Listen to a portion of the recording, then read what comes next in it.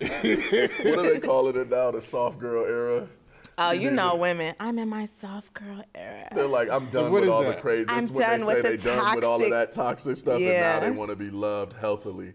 It's like so all your life up until now, you've been happy with you know people doing whatever. Yeah. But now you want to just claim Now you want to be in your soft girl era. Like, girl, cut the You're crazy. Look, you're crazy. Like, girl, You bye. can't just wipe that off.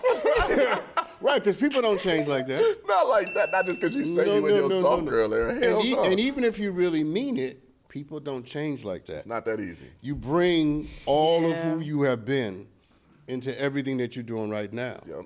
And Whew. I think that I think That's a lot to unpack. No, it is. But but this is what we do to other people is that we we bring our craziness Mm-hmm. and our confusion and then we imposed it impose it rather on other people Yeah. and then call it love.